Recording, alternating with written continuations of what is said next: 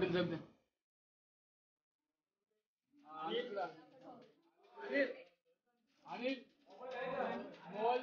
तुमच्यासोबत आहे बहिणी पाठीशी आहात तुम्ही काय सांगाल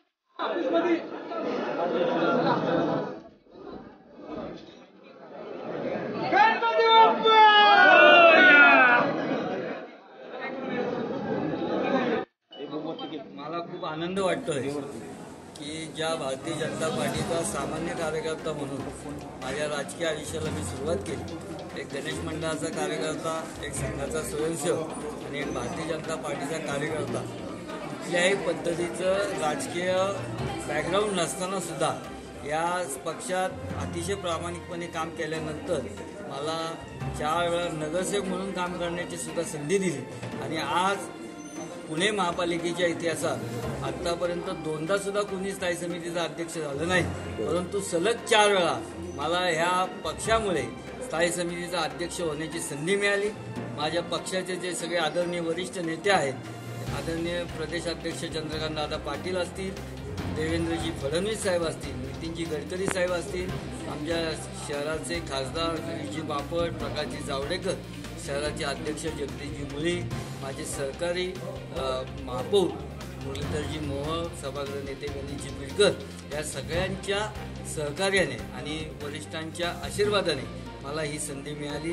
त्याचबरोबर माझ्याबरोबर काम करणारे माझ्या पक्षाचे शंभर नगरसेवक असतील त्यांनी सुद्धा माझ्या कामाविषयी समाधान व्यक्त केलं माझ्याबरोबर साथ दिली. त्यामुळे मला ही संधी पक्षाच्या वतीने मिळाली आणि ह्या मिळालेल्या संधीचं संकट असताना सुद्धा मी संधीचं सोनं करण्याचा प्रयत्न केला. दोन वर्ष मागील वर्षी सातत्याने बाकीच्या ठिकाणी उत्पन्न घटत असताना मी उत्पन्न वाढवण्याकरता प्रयत्न केला आणि त्याच्यात मी यशस्वी झालो. आणि त्यामुळेच कोविडसारख्या प्राप्त परिस्थितीमध्ये महापालिकेने सातशे कोटी रुपये या साम पुणेकर नागरिकांच्या करता खर्च केले. आणि त्याचबरोबर महसूल वाढवल्यामुळे विकासाला सुद्धा गती देण्याकरता आम्ही यशस्वी ठरलो.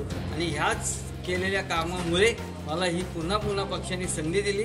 मी पक्षाच्या पुन्हा एकदा वरिष्ठ नेत्यांचा आणि माझ्या सर्व सहकाऱ्यांचा आपल्या वतीने त्यांना धन्यवाद देतो. आणि ह्या दिलेल्या संधीचा नक्की पुन्हा सोनं करण्याकरता प्रयत्न करेल असा विश्वास मी व्यक्त करतो. रेकॉर्ड झालंय पण उर्वरित दिवस कमी पडतील असं वाटतं का तुम्हाला? आता हे कमी पडतील का जास्त असतील या येणाऱ्या काळात कळेल.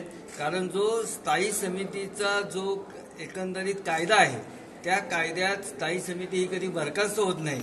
ह्या पुढील काळात याविषयीचा जो काही विषय आहे तो मी सविस्तरपणे आपल्यापाशी मांडेल चला धन्यवाद. धन्यवाद.